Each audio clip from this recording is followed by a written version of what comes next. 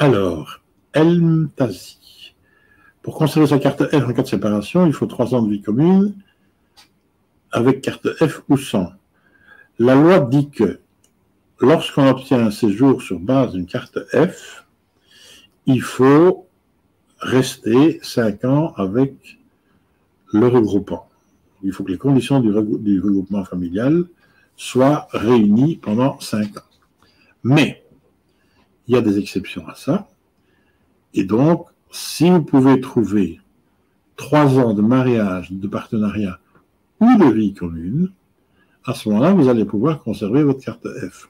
Donc, le raisonnement, c'est que, un, vous devez avoir une carte F, et que deux, même si vous avez reçu la carte F il y a 15 jours, vous puissiez, vous puissiez prouver trois ans de vie commune. Donc, vous ne devez pas avoir trois ans de vie commune avec la carte F. Ça, ce serait rajouter des conditions à la loi. La loi dit qu'il faut avoir trois ans de vie commune.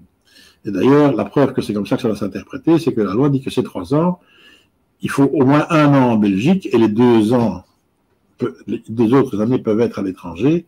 Et donc, forcément, si c'est à l'étranger, vous n'avez pas déjà la carte F à ce moment-là. Donc, c'est clair qu'il ne faut pas avoir la carte F pendant trois ans. Donc, ce qu'il faut, c'est que vous avez trois ans de vie commune et que ces trois ans de vie commune, donc vous pouvez les prouver avec des, extraits de registre national, par exemple, ou composition de ménage, etc. Mais il faut aussi que vous ayez votre carte orange. Mais donc, si vous avez votre carte orange depuis moins de trois ans, ça n'a pas d'importance.